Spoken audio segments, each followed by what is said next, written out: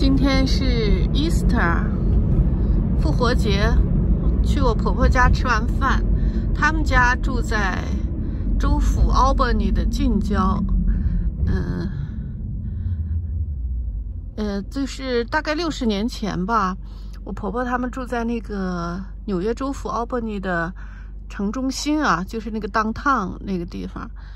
但是呢，我就是说，这个从二战以后呢，美国的这个城市啊，尤其是中等城市的城中心，它就开始走向没落了，治安也不太好，因为那边住的大部分都是那些没有工作的非裔，不是没有工作，而是他们不喜欢工作。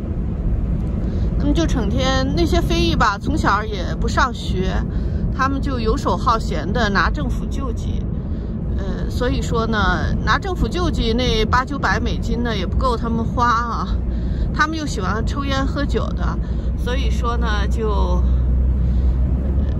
自然而然的就会什么偷啊抢啊，尤其是那这个偷，在美国好像人家非裔倒不怎么偷。嗯，他们可能也不会偷啊，他 们就是这个抢抢劫，呃，这个犯罪率比较高一些，所以我婆婆他们就从那个城中心啊搬到近郊去了，近郊的那个治安就好多了，都是比较好的区。嗯那个区的房子，刚才我忘了没有录，应该录一下那个区的房子。现在我们是从那儿出来了，这个变到郊区了啊。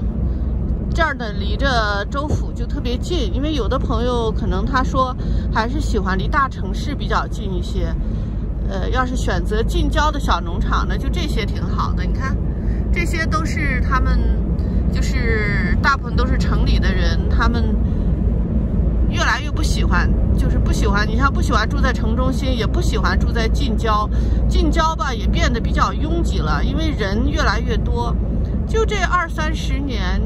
嗯，就你能明就能明显的发现，这个中等城市它的人大概多了有两三倍，所以说美国人吧，他喜欢清静，自己能够住一个很大的空间啊，他们就从近郊有的就搬到这个郊区的小农场，因为在这儿你看买一块地，比如说这个地都不贵啊，过去买一块地可能也就几万块，甚至十来万块就能买个。呃，十几个 acre，甚至二三十个数，二三十个英亩的这种树林子或者是牧场，你在其中辟出一块比较好的地方来，一个建一个自己的房子啊，就建这叫近郊的小农场。从这儿开到呃城里边去工作的话，也就十五分钟左右的车程。也挺舒服的，就主要是住的空间比较大，而且这边，嗯，因为我们这边它是山嘛，啊，有很多山。你像这边住的这些个小农场，他们的后院儿都能够看对面的山谷，就是两个山之间有一个山谷啊，那个风景可漂亮了。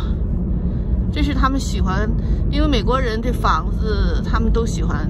景观啊，特别注重。你看二层吧，它都有个平台，站在平台上，它能够看到的景观，它非常注重这些。就算是最高级的，就是要看到海，什么湖啊啊，呃，或者就是山呐、山谷啊，这样子的房子特别受欢迎。像这一块啊，就盖了很多小农场，他们，呃，后院看就是对面那个山的风景。你就像这种小农场，如果房子很一般的话，一般也就是个二三十万。像这种房子不大的这种啊，这后边的地方就都是他的。你看这后面他们还种，有的比较勤劳的，他们种玉米，还有的这个这个是养马的啊，变成一个牧场。他们这个养马呢，也不一定人是为了，呃，并不是为了说是。搞什么经营？这是一个餐厅。你看后边那个山谷，他们并不一定是为了搞经营，就是为了一种就是喜欢。因为欧洲这些移民呢，他们就是以骑马作为消遣。尤其是那些 上流社会的人，他们聚会的时候就喜欢去骑骑马呀，甚至有的人喜欢打马球，有点跟宋代的文化比较相似啊。因为宋代，嗯，那时候就踢足球啊，打马球啊，像什么宋徽宗啊，他们都擅长打马球。看这小农场，这后面都有一片自己的树林子。呃，吃完饭呢，还可以到树林子里去散散散步。一般树林子里，他都会砍出一条小路来。他们喜欢买这种林场建自己的房子，就是这就是第一居所啊，因为离城市非常近，就是工作，天开车也就十五分钟、二十分钟。嗯，这个喜欢这个林子呢，还是有一个原因，还是他们。都喜欢在林子里边的那些小动物，里边有鹿啊啊，甚至呃什么火鸡，有火鸡啊，鹿啊，是吧？狐狸啊，嗯，什么野鸭子啊？你看这风风景多好啊！这个手机是拍不出来，其实后面的山谷风景非常好的。你看，要你要在这儿盖这个空地上没盖房子，你要买了这块地，你看这个就是。他买了这块地，盖了房子了，这就是，这住着应该比那个城里边更舒服一些啊。这些小农场的就都是二三十万，也不是很大。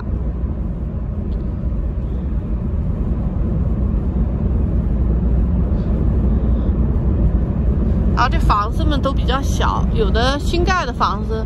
会比较大一些，美国人吧，他们挺其实人挺朴实的。你看这房子们，这房子大，这房子大，这房子是这个是那个一看着就是很古老的啊，大概有一一百年以上的。其实一百年之前美国人盖的房子都挺大，后来他们又崇尚简朴了。你看这房子小木屋都不大。嗯，因为人根据自己的情况和需要啊，要是孩子多的话，可能他就会建个大房子或者买个大房子。如果说人，尤其是有的孩子都大了，就剩下两口了，甚至是有的离婚的剩下一口的人，人都特意买个那个小房子，因为他们不是不像咱们中国人，有时候那个大房子其实住不了那么大，就是为了 好像为了有点满足虚荣心呢，觉得那个大房子客人来了之后挺。挺荣幸，挺光荣的，呃，你没看我们华人很多 都买个四五十万的那种，甚至是一百万以上的那种大房子，但是里边搞的呢，竟是说实在的，这个搞得真是不漂亮。美国这个你别看人家房子外表，你像这种小房子什么的，外表看着很朴素，就跟个小平房似的，但是人家里面它布置的也不豪华，但是。墙上的贴画啊，摆小摆设啊，哎呀，都搞得就是非常的艺术化。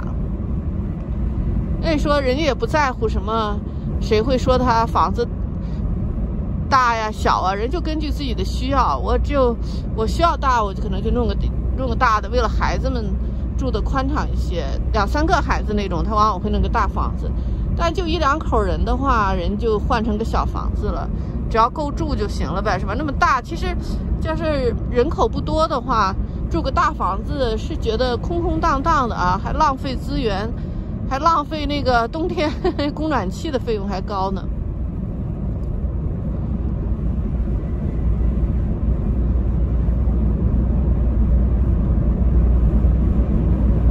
我们这边这个农场，他们主要就是刚才说那个景色，就是。山景啊，山景比较多一些，看山景嗯，也有临湖的。哎，这个家这个农场，人家有一个自己有个小湖，还挺大的呢。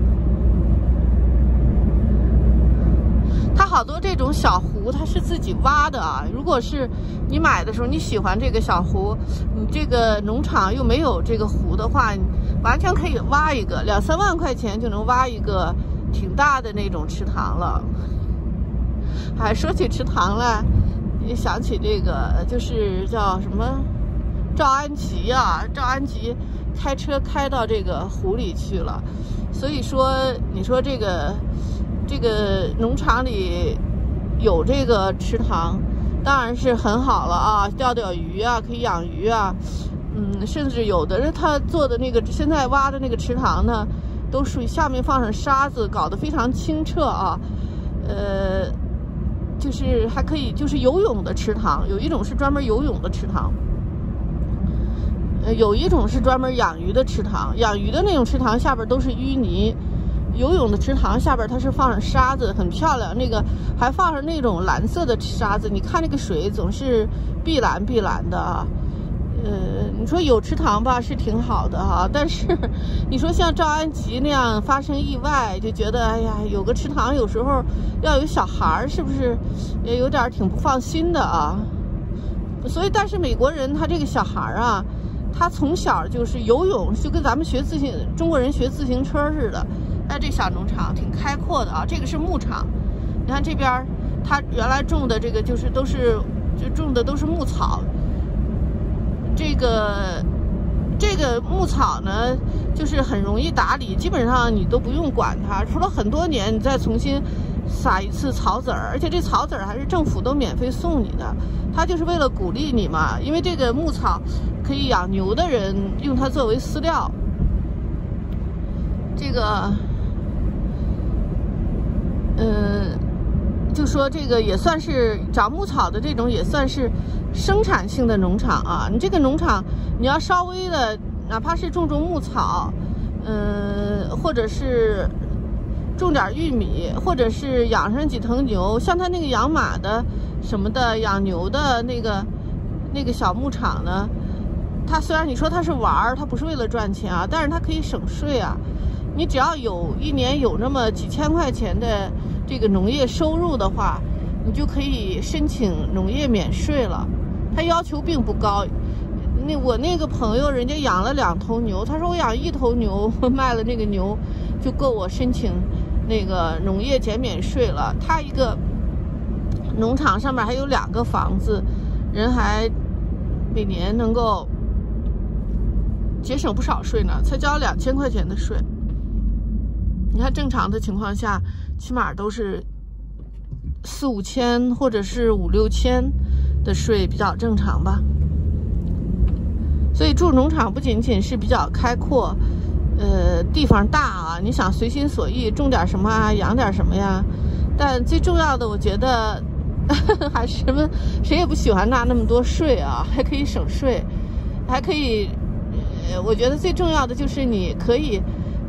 喜欢养殖的啊，喜欢什么？我是挺喜欢养养一群鸡呀、鸭呀什么的。你要在城里边，就比较受限制的。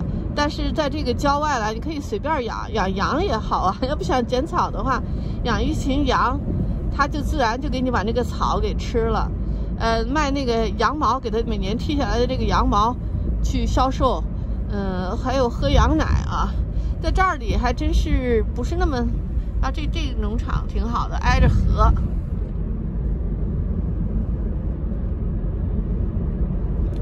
这边这个是一个，就叫移动屋公园啊。你没看见它那盖了很多，盖了很多那个小房子啊，比较简单的那种小房子，还是在河边。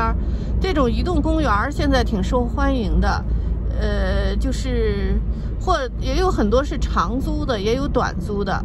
你看它那一。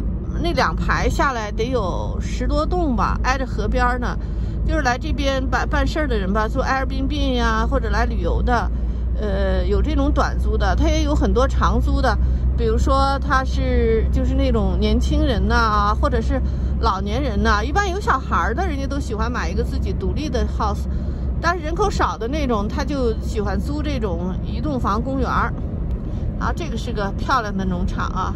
这也是房子，你看人家美国人，他这房子建的都很简单啊，都很也不大，但是周围他这个这一大片都是他的地方，住着很舒服，又能够看对面的山谷的风景。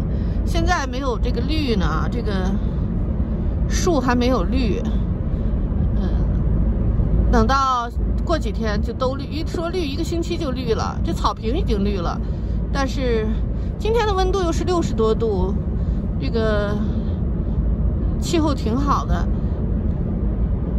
到估计再过一两个星期，这个树都绿了之后，就看对面景色非常漂亮。它这个这个农场是这是种的那个玉米，种玉米也挺简单的。我看他们就拿那个大机器翻一遍啊，翻一遍，然后施肥一遍。到了春天，好像就开始就播种了。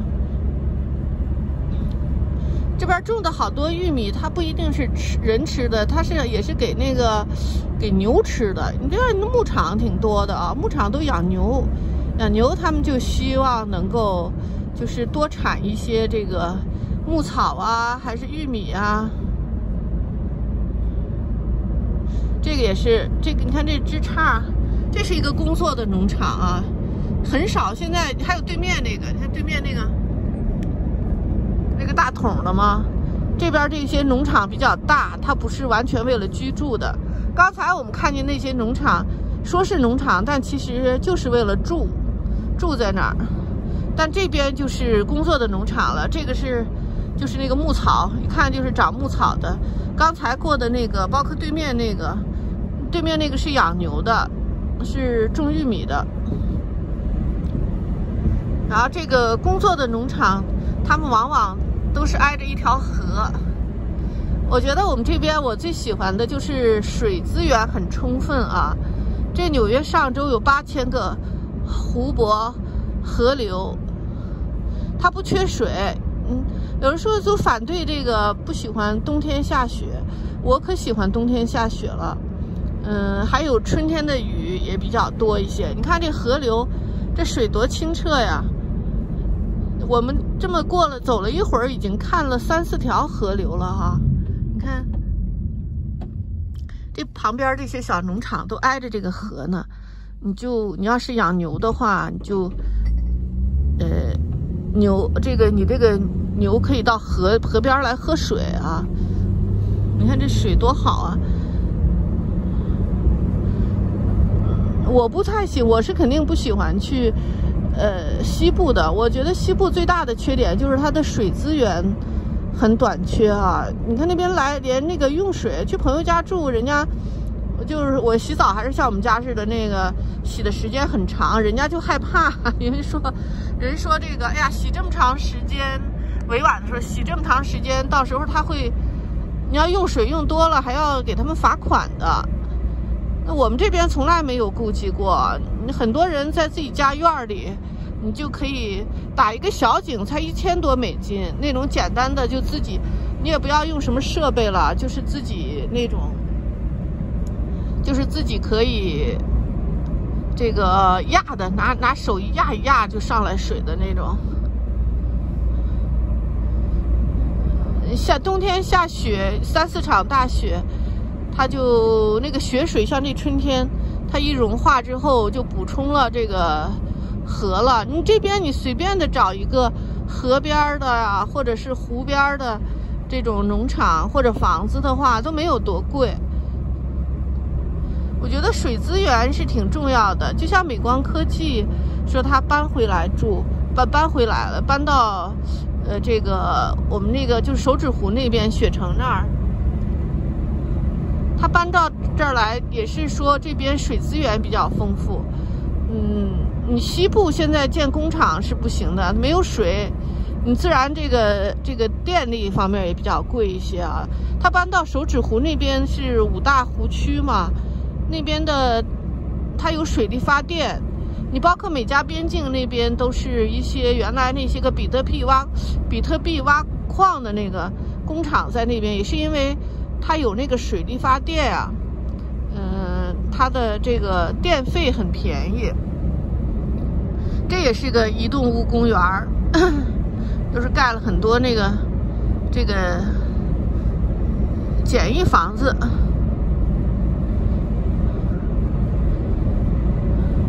就是它的水费和电费很便宜，所以美光科技它在这儿建一个大的科技园区，要建它大的生产厂在这儿来。他在西部肯定找不到那么便宜的电价，纽约州给他很低的电价，嗯，也找不到那么便宜的土地啊，也还有水资源。这工厂这是水电啊，嗯，还有土地资源，嗯，还有附近的这么多学校培养这些可以培养他需要的这个技术工人。嗯，但是你如果去南方的好多工厂，不是前些年都是去德州嘛？德州那边现在的，你像奥斯汀什么的那些个土地啊，几乎现在都被占了，没有什么特别多余的土地了。人们一般不选择休斯顿做工厂，是因为休斯顿它在海边嘛，它的飓风啊，它有时候飓风影响会比较大一些。Darling, can you close the window, please? Can Can you close the window, please? 啊，这小农场，你看，这小农场，小池塘，它那个就是一个是德州现在土地也越来越少了，呃，另外呢，它一个还有一个问题就是，德州它的水资源呢是它分成干季和湿季，就是湿季的时候雨水非常充足啊，甚至是很多。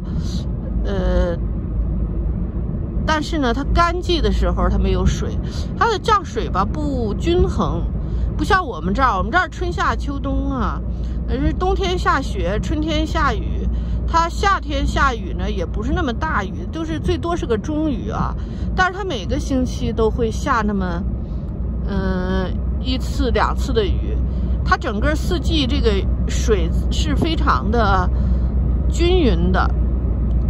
既就是既丰富又均匀，也不会也没有什么洪涝灾害。嗯，你像休斯顿吧，为什么人们不敢去休斯顿建工厂呢？他那会儿下大雨，还有什么飓风的时候，他真的是那个雨啊，就是很大很大的啊，大到大到简直就是淹没了，把房子都淹没了。那我们这边。没有过那种自然灾害，所以这些科技公司现在又陆续要回来了。好的。